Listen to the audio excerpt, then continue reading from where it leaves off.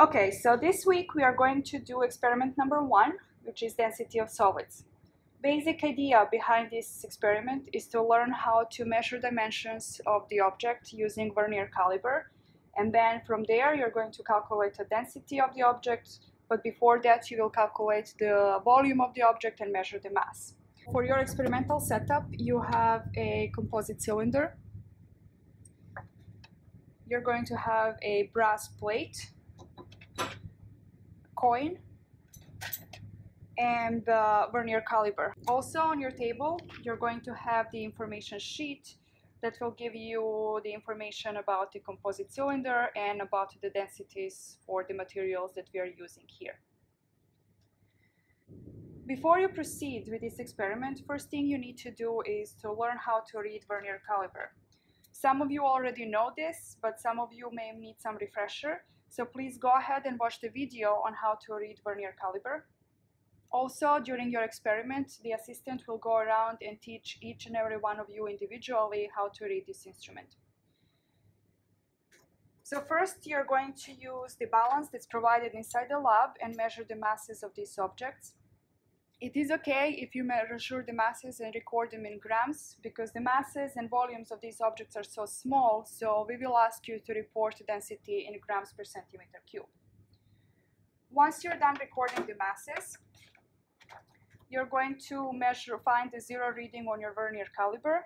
So basically you just want to see that zero on the main scale is aligning with the zero on the vernier scale. Some of the calipers have the vernier scale on the bottom side.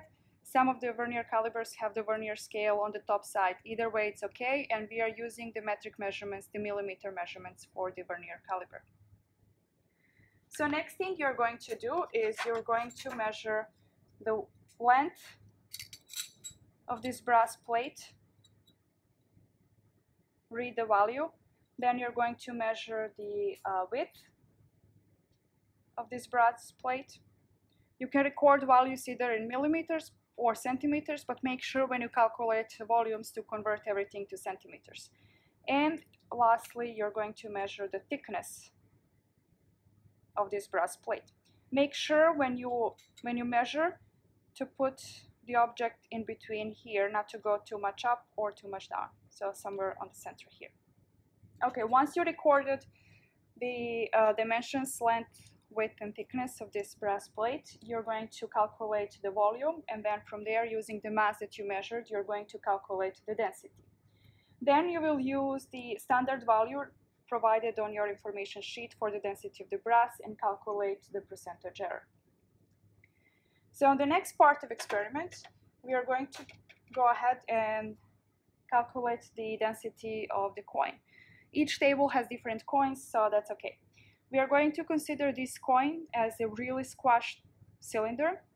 So first thing you're going to do is you're going to measure the diameter of the coin. And you're going to do this five times. Simply because if you turn coin like this, sometimes you're not going to hit on diameter. So maybe the best thing would be is to measure the diameter placing coin like this. You're going to do this five times and then find the average. Then you're going to measure the thickness of the coin, again five times, and uh, find the average. Once you have the diameter, you can calculate the radius. And then from there, you're going to calculate the average radius, and then uh, volume of this coin, and then density of the coin. So it is important, you will notice here on, the, on your lab manual, you have empty space. Whenever you have empty space, that means that you need to show your work, your calculations into detail. Okay, the last part and most a little bit more difficult part is to calculate the density of the composite cylinder. So the first thing here that says is record information given by your instructor. What does that mean? That means that each cylinder on each table is different and it's labeled by the number. So for example, this is the cylinder number two. You're going to go ahead on your information sheet and then find a cylinder number 2 here. And then the information that you should write down is that the shell of this composite cylinder is made of brass. and then inside rod is made from different material. The goal is to find the material from which this inside rod is given, is made. Then you're going to re record down the inner rod radius. It's given here on information sheet and it's 3 16th of the inch. You will need to convert this to uh, centimeters. Third thing that's given to you is the diameter of this inner rod. Simply by multiply the radius by 2 and that's your diameter. And the fourth thing you're going to be given is the, since you know the uh, material from which shell is made, and this is brass, you're going to record the uh, density of the brass to your table. So then what you're going to do is you're going to go a little bit into circles here to complete this table. So you would find finally the density of the uh, inner rod. First, you're going to measure the mass of the composite cylinder and record it here. Then what you can do is you can measure the diameter of the composite cylinder and record it down here. Then you're going to calculate the radius of this composite cylinder. Lastly, you can measure the length of the composite cylinder and record it into your table. Length of the cylinder, rod, and shell is same because it's flat on the ends. So now you have the radius, the length. You can calculate the volume of the composite cylinder. You have radius and length of the rod. You can calculate the volume of the rod. Knowing the volume of the cylinder, and you know that volume of the composite object is equal to the volume of the inner rod plus volume of the shell, you can, knowing these two, volume of the cylinder and volume of the rod, you can calculate volume of the shell. Now you know volume of the shell and you know the density from the material that shell is made from. You can calculate the mass of the outside shell.